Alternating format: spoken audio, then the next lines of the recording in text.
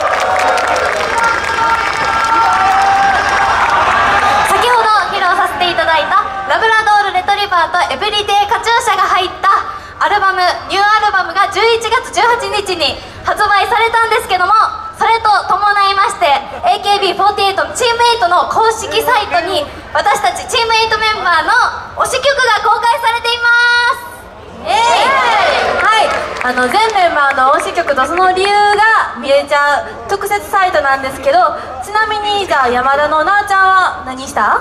はい、えっと、ベイビーベイビーベイビーです。の理由は？あの、そのベイビーベイビーベイビーの PV を見て AKB48 が好きになったので、推し曲です。ねなるほど、はい。じゃあ次は浜。はい。永遠プレッシャーです。おおなんで？えー、なんか歌詞がすごいサイナにとても合ってて。そうなんですそうそう。すごい合ってて。であのオーディションの時に歌ったので好きです。なるほどじゃあさやなはずっとプレッシャー感じてるそうわけだな。んですよね。まあ遠プレッシャー。気軽に行こうはい、はい、ということでこんな感じでメンバーの推し曲とその理由が分かっちゃいますので皆さんぜひチェックしてみてください。ということで、次が最後の曲になっちゃいました。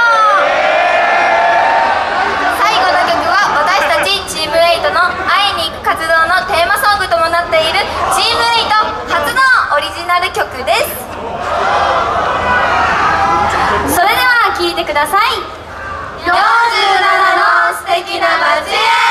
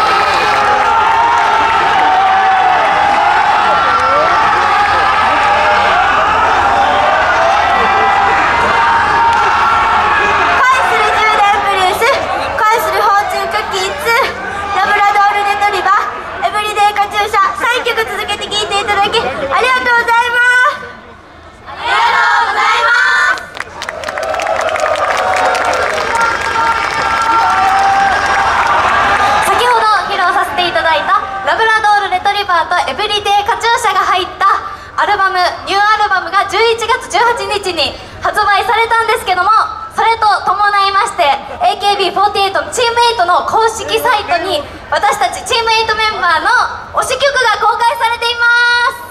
えいはい。